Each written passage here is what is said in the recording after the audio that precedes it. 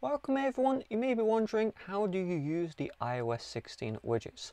So actually on the lock screen we can now add widgets. So I'm going to start off with the lock screen then move to the home screen. So the first step is in order to edit the widgets you're going to long press on the lock screen. It may say unlock to edit. If that's the case, unlock your device, slide down, then long press.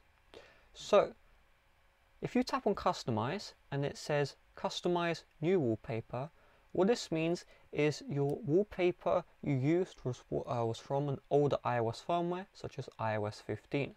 What this means is you need to create a new wallpaper by tapping on the plus here or customize a different wallpaper, okay?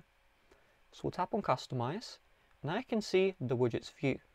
If you tap in here, you have the option to either remove widgets like so with the minus or you have add widgets you can tap on the widgets to add.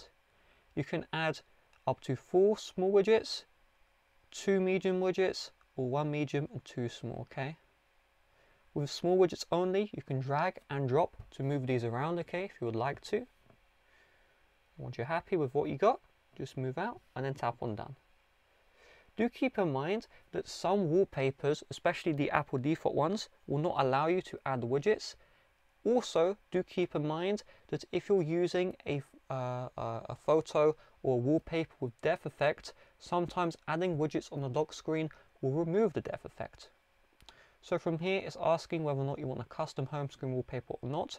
I'm just going to tap Set as Wallpaper Pair, which means my lock screen will be the same as my home screen. And now I can see the widgets. If you tap on the widgets, it will go into the specific app. If you long press, won't do anything okay so you can only tap right? Now go into the home screen if you long press on the empty space you're going to be into wiggle mode. And you see the plus here just tap on the plus. Select the widget you would like to add let's say the app store. You can slide to the left to choose the different sizes. Do keep in mind not all widgets will have larger sizes. And once you're ready tap on add widget slide up or press the home button and now you have the widget here you can long press on the widget and then drag and drop it where you would like, okay? Move it near to the left hand side and you can, uh, left to right hand side and you can switch between the pages.